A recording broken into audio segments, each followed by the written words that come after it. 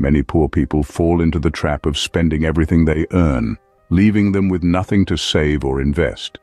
This habit makes it challenging to break the cycle of poverty, as any unexpected expenses can lead to financial ruin. Poor people often prioritize spending over saving. The allure of immediate gratification can overshadow the importance of building a nest egg for the future. This short-term focus can result in a constant struggle to make ends meet. The lack of financial education is a significant factor.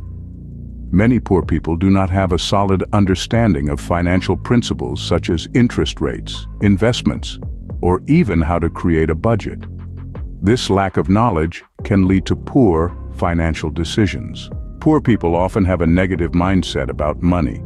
They may view wealth as something unattainable or even evil.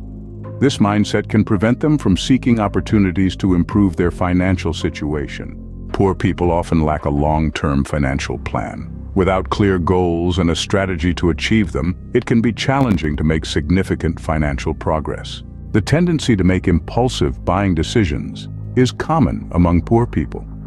Many are easily swayed by sales and discounts, leading to unnecessary purchases that drain their resources. Poor people often rely on credit for purchases, leading to high-interest debt.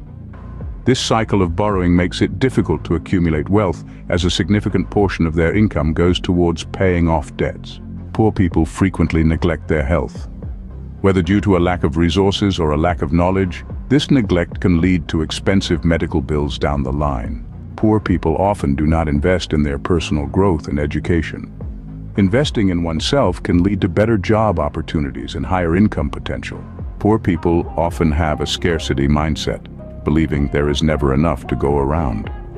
This mindset can hinder their ability to see opportunities for growth and improvement. In summary, the habits and behaviors that keep people in poverty include living paycheck to paycheck, prioritizing spending over saving, lacking financial education, harboring a negative mindset about money, failing to plan for the future, making impulsive purchases, relying on credit, neglecting health, failing to invest in personal growth, and maintaining a scarcity mindset.